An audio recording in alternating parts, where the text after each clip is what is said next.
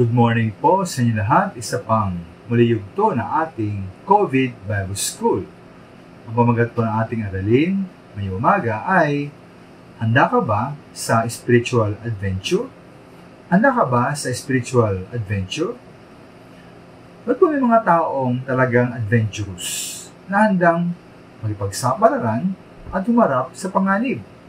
Halimbawa po, sila umaakyat ng mataas na bundok, sila pa yung sumisisid ng malalim na dagat. Halimbawa po isang taon na ano, tumalon, na may taas na higit sa 7 kilometro, na wala pong parachute.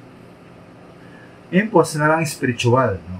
ating buhay spiritual, handa ba tayong tumanggap ng hamon mula sa Diyos para sa isang spiritual adventure? O tayo po'y kontento na na parang karaniwang buhay lamang na medyo boring. May sabihin ninyo, dahilan natin, excuse, ay inyong edad. Na kayo matanda na. Tama ba yun? Yung ba yung excuse po ang ating edad? Nabawa po si Abraham. Tingnan natin, no? Genesis chapter 12 verse 1.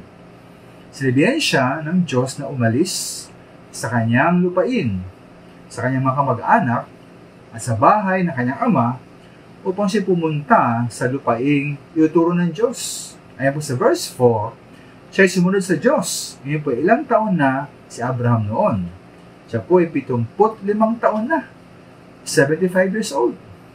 Si Moses po, ilang taon na siya nang hiutusan ng Diyos na bumalik sa Ehipto upang palayain ng mga Israelita. At siya po ay sumunod. Ayon po sa mga gawa 7, siya po ay 80 taon na. 80 years old. Nung po tinawag po ni Kristo sila Pedro, Santiago at Juan, mula sa pengisda patungo po sa pangaral at paghuli ng mga tao, sila po ay hindi nakatubili. Tinanggap po nila ang hamon para sa isang spiritual adventure.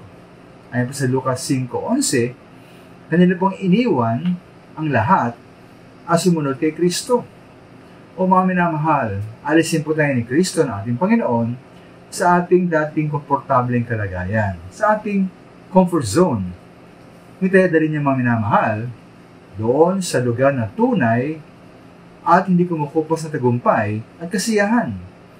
Nawa po at ipon tanggapin ang hamon ng Panginoon para sa ating sariling spiritual adventure. Maraming salamat po.